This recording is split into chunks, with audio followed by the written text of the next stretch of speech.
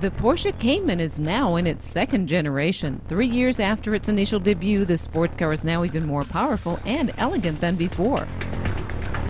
Both the regular Cayman and the Cayman S pound the pavement with a completely newly developed six cylinder boxer engine.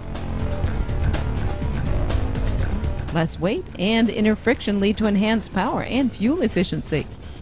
320 horsepower of propulsion inside the Cayman S. The speedo needle peaks at 277 kilometers per hour.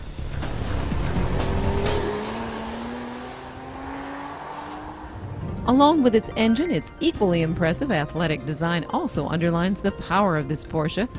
A long wheelbase and accentuated curves lend the Cayman dynamics and stability.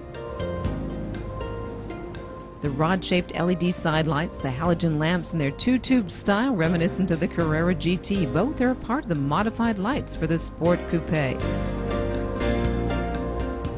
And new LED lights tapering to the outside are integrated elegantly at the rear.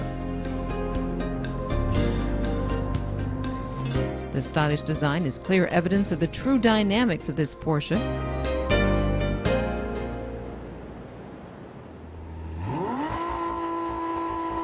In 4.9 seconds from 0 to 100. Take off like in a race car with launch control. To press the brake, floor the gas pedal, the engine is set to 6,500 RPM. Lift your foot off the brake and the car accelerates to its max.